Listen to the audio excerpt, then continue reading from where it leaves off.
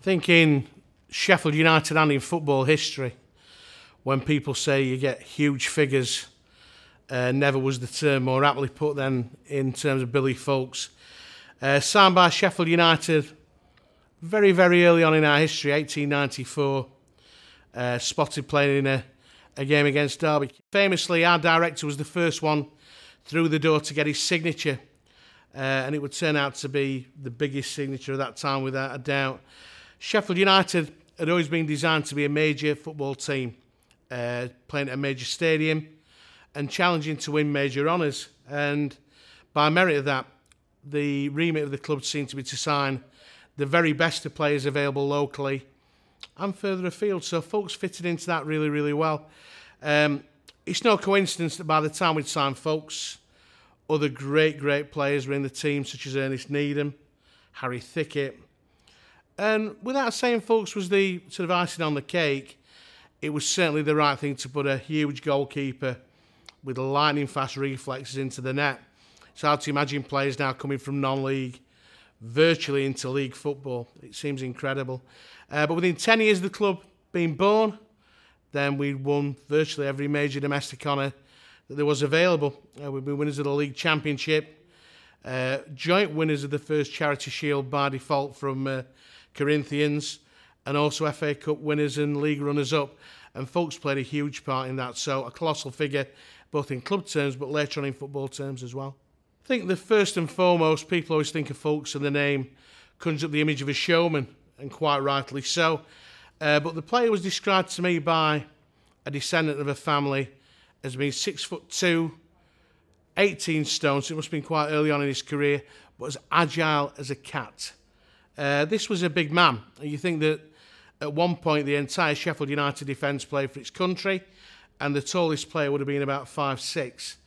Foulkes was colossal at six foot two, and Sheffield United used that to great effect.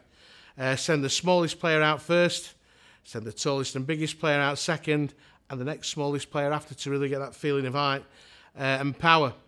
But uh, very, very quick off his line at a time, of course, when goalkeepers could handle the ball outside of the area.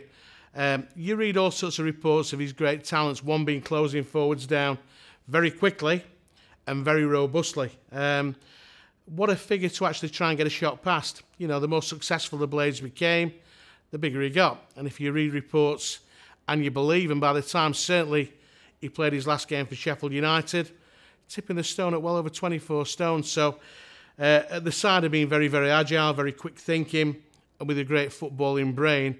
Also like trying to get the ball past the side of the house in the goal. So pretty good attributes. I think that football is about characters. Sadly, in the game these days, there are less and less of them. And I think it's like reading any good book. When you find out about footballers of yesteryear, you want the story to uh, live up to the expectations. And I was fortunate enough as a member of the football club staff to meet members of his family uh, going back in the not too distant past uh, you'd find his granddaughters were still alive. Now, they never knew him, but of course, the best ever evidence you get passed down is primary evidence, or as needs as you're going to get. So, to actually listen to the stories of this fantastic character, a bright man as well. You know, forget the football on pitch antics. This was a man who could regularly be quoted talking about the Prime Minister at the time or the government, um, widely speaking out about England selectors' policies and the way in which his own football club was run. So, uh, at the side of stark naked shenanigans on the pitch at FA Cup finals, the alleged breaking of crossbars and remonstration with Wednesday fans, you've got a very, very articulate and quote-worthy man. So, uh, quite an interesting package. I think the feeling that you get from, again, stories, and he's certainly one of the players I would ideally love not only to have seen play, but met. If you sum up anybody's sense of humour, we had a player at the time called Peter Boyle. Um, Boyle was a great player, a fullback, played for Ireland. In fact, his son was good enough to win an FA Cup winners' medal with the Blades in 1925. But one of Foulke's favourite tactics was to pick Boyle up, drape him round his soul, uh, shoulders during training at Bramall Lane and go to the coach, George Waller, and tell him that it was impossible for him to train as he got a painful boil on his back. I think he was only capped the once for England. It's a great question, and it's quite fitting that the cap took place here at his spiritual home of Bramall Lane. in a game that saw England beat Wales 4 0, so quite conclusive and a clean sheet. Um, again, it's only supposition. You can only draw what you can get from the facts that are printed. But he was a man who was outspoken, he was articulate, and he was bright. The story of him stark bollard naked after the FA Cup final, is that a true tale? Yeah, I've seen corroboration of it. Um, I like the story, the idea that the Blades are winning with a few minutes to go and Southampton come through blatantly offside. So far offside, apparently, that even the, the whole team just didn't let the player walk through. Slot the ball coolly past Foulkes for the uh, the ref to give it. And of course, there was uh, uproar and remonstrations. Final whistle, of course, it meant we got another journey back down to uh, the Crystal Palace the following week to uh, to play another cup final. Um, by the time they got him down to the dressing room, to be fair to say, he was incandescent with rage, which is a great word. Now, the story I've always been handed out was out the corner of his eye when they got him clothed off. Uh, the referee appeared at the dressing room door smiling.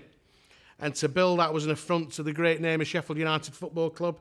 And he decided to go and have a word with him. Now, the referee, by all accounts, like many, many in those days, wasn't the tallest of guys. In fact, I saw somebody said it was like the Charles Hawtrey refereeing. Great word or great description. Foulkes went out to have a word with him now, discretion being the better part of valour. If you see six foot two of quite angry blubber lumbering towards you, I think we'd all do the same and disappear. And the story says that he came out of the tunnel at the palace like a cork out of the bottle. Uh, the thousands of fans trying to get out of the ground saw this figure enter the field of play and observed with interest to see this colossal bollock naked goalkeeper appear chasing him for a kind or quiet word. Uh, again, story says a couple of rounds of the pitch so he locked himself in the groundsman's shed and the police arrived to remove Foulkes as he tried to remove the door. Uh, imagine that in a final these days or any game of football.